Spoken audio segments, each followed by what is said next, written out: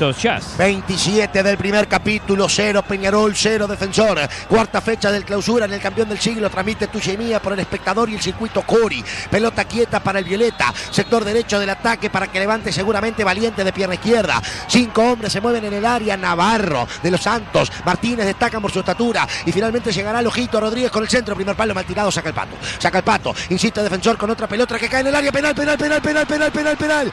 Penal, penal, penal, penal, penal, penal. Penal para defensor, dice Leodán, que no admite ningún tipo de reclamos. Levantó desde la derecha Nicolás Rodríguez. Sacó el Pato Sánchez, no sé si de la mejor manera. Un hombre de defensor Sporting la devolvió al área. Y cuando la fue a buscar Enzo Martínez, para mí es Maxi Olivera, el que en su afán de restar termina pegándole al hombre de defensor.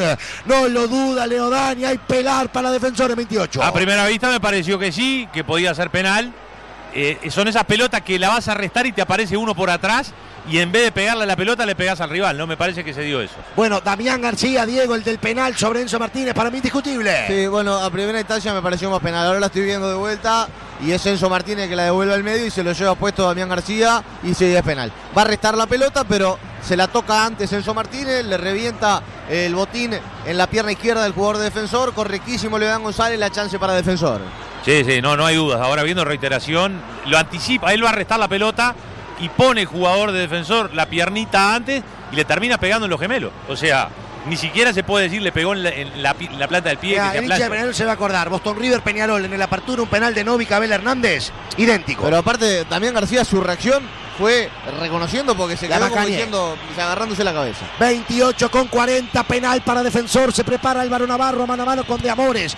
Hacia el arco de la tribuna y Va a llegar el chino, va a llegar el tacuaremboense, va a llegar el capitán Violeta buscando abrir la cuenta para el equipo de Marcelo Méndez, que quiere descontar en lo más alto de la tabla anual y que quiere llegar a lo más alto del clausura. Transmite tuya y mía por el espectador y el circuito Cori. Hay penal para el Violeta y ahí va a llegar el chino Navarro.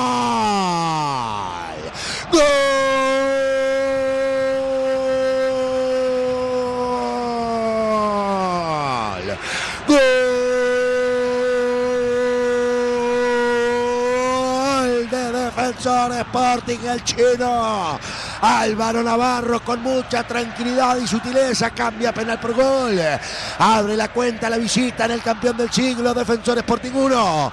Peñarol 0, el capitán Álvaro Navarro. Pensé que lo iba a matar al medio del arco, pero no lo mató. Esperó que moviera un poquito el pie de Amores, la tocó con sutileza. No digo que la picó, pero la colocó en el medio del arco. Gran categoría para ejecutar un penal. Absolutamente, lo engaña con el cuerpo y hasta con la mirada. Mira el otro palo, de Amores se piensa que va a ir a ese sector y después no tuvo ni que darle ni potencia ni demasiada dirección.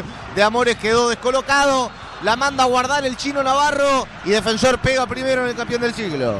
Toda la emoción del fútbol está en tuya y mía, por el espectador. Más lo necesitas. Se equivocó Lucas, se equivocó Lucas Hernández, pero no se la pudo quedar Duarte. Y la última vez para Peñarol. Por adentro viene el cepillo González, acompaña a Sebastián Rodríguez, vino para el 8. Sebastián se abre como puntero y ya descarga definitivamente para el bajito que está como puntero por derecha. Amaga Aguirre Garay. Es la última del primer tiempo y es para Peñarol. Gran pelota del bajito al área para el cepillo.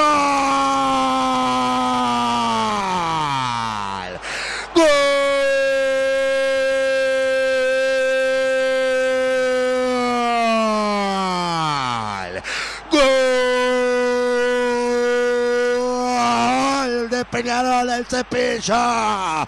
Franco González empata el partido literalmente la última de la primera mitad. Linda combinación por derecha del Carbonero entre el Cepillo Rodríguez y Aguirre Garay. Fue el Vasquito el que la jugó al corazón del área para el Cepillo que controló y definió cruzado. Lo empata Peñarol el momento clave en la última del primer tiempo y ahora Peñarol y Defensor 1 a 1 en el campeón del siglo. Y apareció el que tenía que aparecer, que es el Cepillo González. Una pelota perdida en el medio por Duarte. Derivan Aguirre Garay, asiste muy bien. La verdad, estaba para tirarla al medio. Define al segundo palo.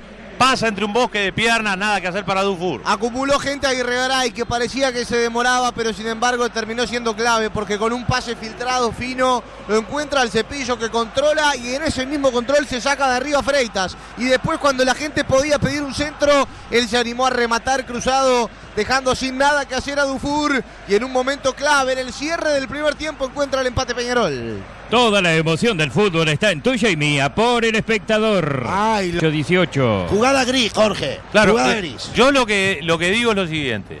Eh, para mí no es penal, ¿verdad? Pero por lo menos lo fue a ver, ¿no? Entonces a mí me parece que está bueno que el árbitro mire, analice y no se quede con la imagen de la cancha. El árbitro di- dice penal y bueno, hay que respetarlo, porque nadie va a tener unanimidad en este tipo de jugadas. Que te meta el de las manos en el mundo y en esta fecha en el fútbol uruguayo mucho más aún. Comparto con Jorge, yo no hubiera cobrado penal, pero está bueno que el árbitro vaya y determine él por sí mismo viendo reiteraciones. Hay penal para Peñarol, 1 a 1, segundo tiempo, 22.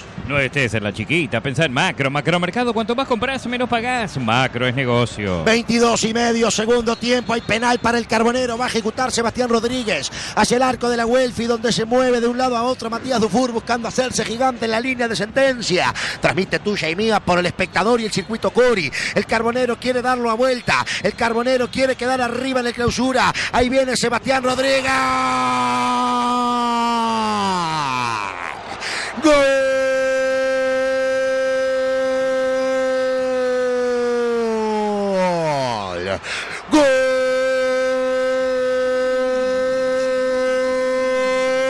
De Peñarol, el cabecita.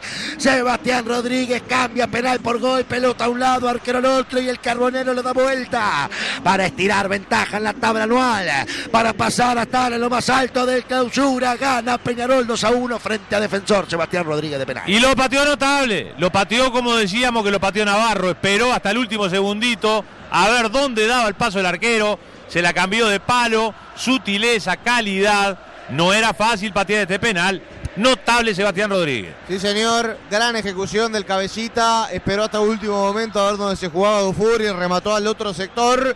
Y lo festeja Peñarol y todo el estadio porque se le hacía esquivo la posibilidad de pasar al frente y ahora cambia el trámite y Defensor va a tener que salir porque está ganando Carbonero. Toda la emoción del fútbol está en tuya y mía por el espectador.